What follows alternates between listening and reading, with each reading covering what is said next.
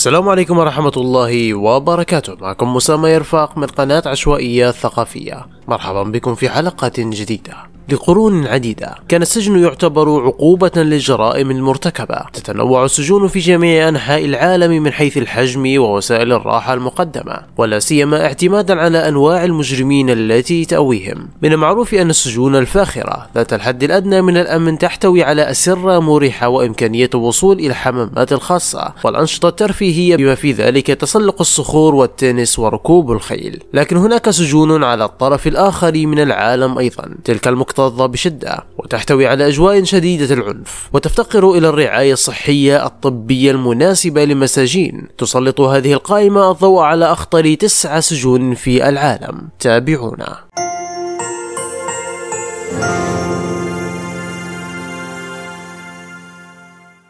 خليج غوانتنامو في كوبا تم افتتاح هذا السجن المملوكي لأمريكا الواقع في الطرف الشرقي لكوبا في عام 2002 في أعقاب أحداث الحادي عشر من سبتمبر لإيواء سجناء طالبان والقاعدة الذين تم أسرهم في أفغانستان. بينما تعهد الرئيس أوباما عند انتخابه بإغلاق السجن إلى أنه لا يزال يعمل بكامل طاقته حتى يومنا هذا ويحتوي هذا السجن على أكثر من 150 نزيلا في معسكرين معسكر دلتا ومعسكر إيغوان. ماريجوانا معسكر إكس راي سيء السمعة وهو مرفق احتجاز مؤقت أغلق في عام 2002 تعرض المعتقلون لأساليب استجواب محسنة ويعرف أيضا باسم التعذيب مثل الإيهام بالغرق والحرمان من الإحساس وغيرها من الطرق التعذيبية المخيفة. سجن ولاية سان كوينتين في الولايات المتحدة الأمريكية. يعرف سان كوينتين وهو أقدم سجن في كاليفورنيا بعنفه. لقد كان موطنا للعديد من المجرمين سيء السمعة بما في ذلك تشارلز مانسون وسكوت بيترسون وسرحان سرحان الذي اغتال روبرت إف كينيدي. إنه يحتوي على مرفق المحكوم عليهم بالإعدام الوحيد في الولاية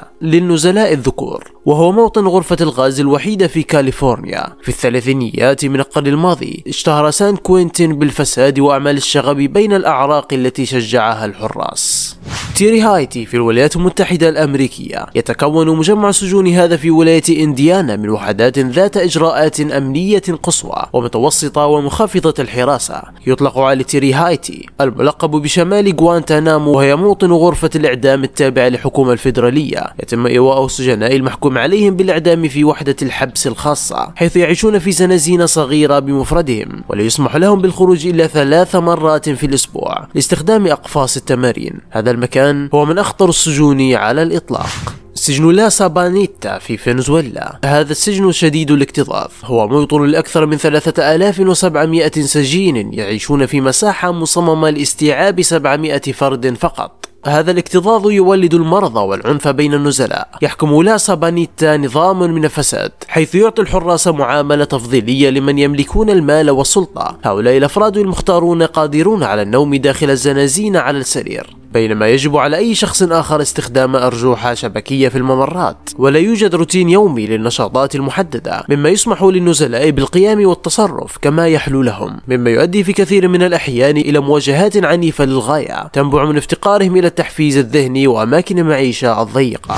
سجن ديار بكر تركيا. يعرف سجن ديار بكر في تركيا بوجود أكبر عدد من انتهاكات حقوق الإنسان لكل نزيل. يمارس بيت التعذيب هذا الإيذاء النفسي والجسدي بشكل يومي مما يدفع العديد من النزلاء إلى الانتحار. عندما تزور عائلات لا يجرؤون على النطق بكلمة واحدة. فهذه الكلمات يمكن استخدامها كعقاب لأحبائهم المسجونين. تم تجييده لاستيعاب 700 سجين فقط رجال ونساء. وغالبا ما يكون مبنى مكتظا بشدة. سجن مندوزا في الأرجنتين. يعد سجن مندوزا الذي يزيد عدد سكانه عن ثلاثة أضعاف سعته. منزلا مجنونا. يتم تكديس ما يصل إلى خمسة سجناء في زنازين تبلغ مساحتها أربعة أمتار مربع فقط. ومع عدم وجود نظام صرف صحي مناسب في المنشأة. يضطر السجناء إلى استخدام الأكياس البلاستيكية والزجاجات كغرفة للاستحمام كما لا توجد رعاية طبية أساسية. لا يرى النزلاء الطبيب إلا إذا ماتوا. سجن جزيرة رايكرز الولايات المتحدة الأمريكية. يتألف سجن الجزيرة من عشرة سجون منفصلة تضم الرجال والنساء والشباب وهو معروف بالعنف المفرط والفساد وسوء المعاملة الجسيمة لنزلائه وخاصة أولئك المرضى عقليا. في عام 2008 بعد وفاة كريستوبر البالغ من العمر 18 عاما بالضرب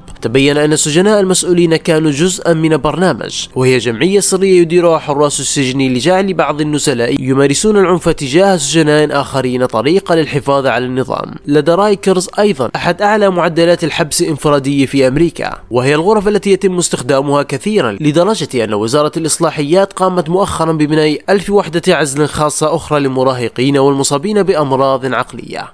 سجن ADX تم بناء هذا المرفق في عام 1994 ويضم بعضا من أخطر المجرمين في العالم بما في ذلك تيد كاتشينسي. ورمزي يوسف المسؤول عن تفجير مركز التجارة عالمي عام 1993 يقضي النزلاء في هذا المرفق 23 ساعة يوميا في الحبس الانفرادي في زنازين خرسانية مساحتها 7 في 12 قدما تحتوي على أثاث خرساني غير متحرك مثل كرسي ومكتب وسرير يعلوه مرتبة رقيقة إنه من أخطر السجون في العالم.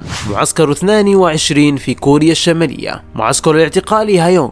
المعروف أيضا باسم كامب 22 يعمل منذ عام 1965 لكنه ظل سرا لعقود حتى أصبح التصوير بالأقمار الاصطناعية لمرفق متاحا للجميع. معسكر 22 هو واحد من 30 معسكر اعتقال في كوريا الشمالية. يقال أيضا أنه يضم أكثر من 50 ألف رجل وامرأة وطفل حيث يمكن اعتقال أفراد الأسرة بأكملها بها بسبب جرائمهم. يعاني السجناء من سوء التغذية والتعذيب والعمل في الحقول والمناجم لأكثر من 12 ساعة في اليوم سبعة أيام في الأسبوع. وأخيرا سجن جيتامارا في رواندا. يعد سجن جيتامارا وهو أكثر السجون اكتظاظا في العالم. موطنا لأكثر من سبعة ألاف سجين في منشأة تم بناؤها لاستيعاب 400 فقط. معظم السجناء مشتبه بهم في الإبادة الجماعية في رواندا التي حدثت في عام 1994 نظرا للاكتظاظ الشديد. فإن هؤلاء الرجال والنساء يجبرون على وقوف حافي القدمين على الأرض القذرة طوال ساعات النهار مما يتسبب في تعفن أقدامهم. يحتاج كثير منهم في نهاية المطاف إلى عمليات بتر. ولكن مع وجود طبيب واحد فقط متفرغ مخصص للسجن لا يتمكن معظم السجناء من تلقي العلاج الذي يحتاجون إليه مما يؤدي إلى وفاة الكثيرين منهم. كل يوم. إلى هنا تنتهي هذه الحلقة يا رفاق من قناة عشوائيات ثقافية. مع السلامة.